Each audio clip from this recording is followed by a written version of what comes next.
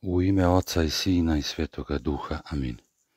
Draga braćo i sestre, danas 17. decembra po starom julijanskom kalendaru ili po novom 30. decembra Sveta pravoslavna crkva slavi i proslavlja svetog proroka Danila i tri otroka Ananiju, Azarija i Misaila, kao i svetih prepodobnih mučenika Đakona Avakuma i Igumana Pajsija. Njihovim molitvama Gospod Isuse Hriste, Bože naš, blagoslovi nas za današnji dan. Amin. Reč prepodobnog Ave Pajsija Svetogorca, naslov besede, čuvajmo se nestrpljivosti, nemira i mnogobrižnosti.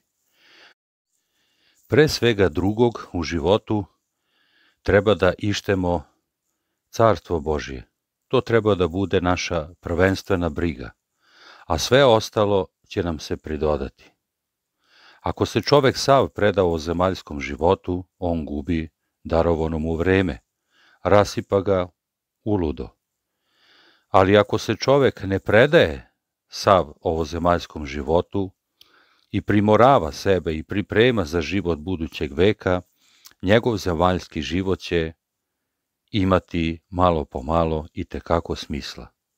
Ako razmišlja o životu budućeg veka, to sve menja u njegovom sadašnjem životu.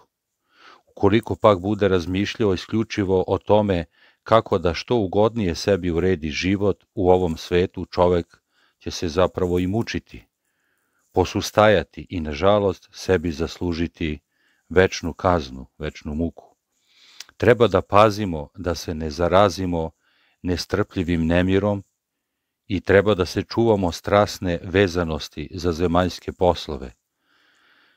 Na primer, sada treba da uradim ovo, a posle ono.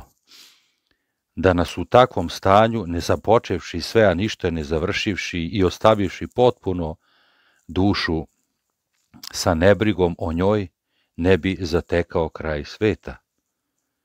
I izlazak pred Boga, Sam nestrpljivi nemir u pogledu ovozemaljskih poslova je već delo demonsko.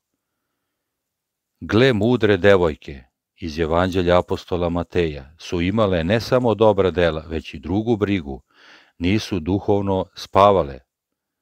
One su bdile nad sobom, nad svojim dušama i nisu bile duhovno ravnodušne.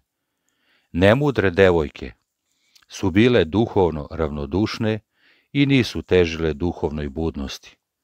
Možda su one i govorile, ima vremena, pokajaću se. Zato im je gospod i rekao, bdite. I one su takođe bile devojke, ali su bile, kao što reko smo, nemudre, nerazumne.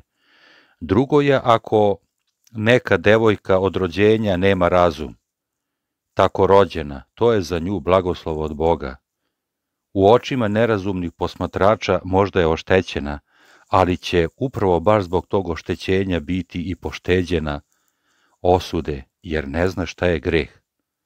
Jer će u budući život preći bez polaganja ispita. Ukoliko pak ima razum, uprkos tome živi nerazumno, u dan strašnog suda, za sva ona dela počinjena i dušom i telom, neće moći ni na koji način da se opravda ako su ona grešna. Bogu našem slava i hvala vavijek. Amin.